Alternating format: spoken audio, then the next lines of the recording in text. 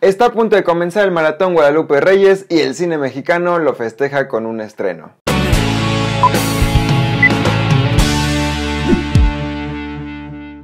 Guadalupe Reyes es una película mexicana con temática navideña y es la ópera prima del director Salvador Espinosa, protagonizada por Juan Pablo Medina y Martín Altomaro. En la película, Hugo, interpretado por Juan Pablo Medina, es un exitoso adinerado que vive viajando por el mundo, de fiesta en fiesta sin tener preocupación alguna. Pero las cosas cambian un poco durante la celebración de su cumpleaños número 40, cuando se da cuenta que el tiempo ha pasado y la idea de volverse más viejo le aterra. Por otra parte, en algún punto de la Ciudad de México, Luis, a quien le da vida Martín Altomaro, es un godín que trabaja para un despacho, dedica su vida a ser el mejor en su trabajo para poder conseguir un ascenso sus días son monótonos y su matrimonio un desastre.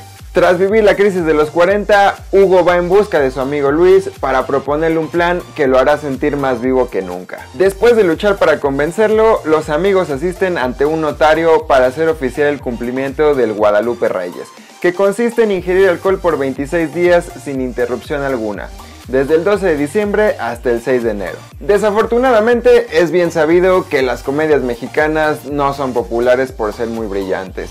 Muchas veces vamos a verlas sabiendo que van a tener los mismos chistes, repetitivos, aburridos, y que vamos a salir decepcionados. Así que no fui con muchas expectativas a ver esta película, sin embargo me sorprendió. Debo decir que no es la mejor película, pero cumple con su cometido de entretenerte por un rato sin caer en los mismos chistes de siempre, lo cual ya es ganancia. Los engañaría si les dijera que se van a carcajear durante la hora y media de película, pero seguramente una que otra carcajada sí les va a sacar. Creo que al ser la ópera prima de Salvador Espinosa, trató de llevarse este tema tan mexicano de un modo simple sin caer en chistes pesados.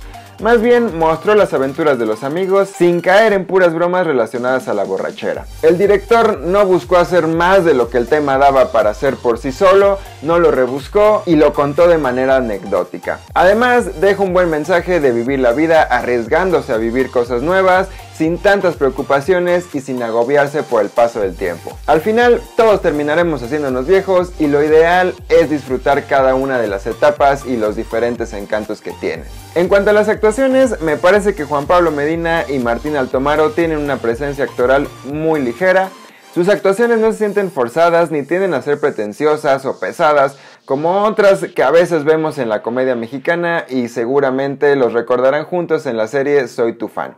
Junto a ellos también actúan María de la Fuente y Juan Carlos Colombo, que también ofrecen personajes muy livianos. En general la producción es buena y la mayoría de locaciones están filmadas en la Ciudad de México, aunque tiene un par de escenas en la playa, pero en realidad todo se siente muy chilango o muy mexicano y si vives en la ciudad te vas a identificar fácilmente. Además, el mismo tema del Maratón Guadalupe Reyes es un tema muy mexicano por sí mismo. La película no es la gran propuesta del año, pero tampoco es tan terrible como lo sugiere el título o el tema. Guadalupe Reyes es una cinta con una historia muy sencilla, pero muy entretenida porque la supieron adaptar muy bien, con chistes muy agradables y buenas actuaciones.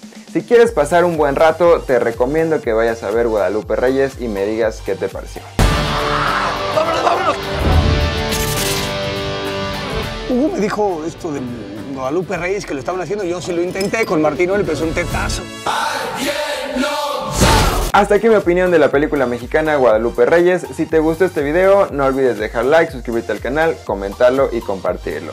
Yo soy Enrique Blancas y me puedes encontrar en las redes que están apareciendo aquí abajo. No olvides que estás viendo muchos pelis y nos vemos en el próximo video. Bye.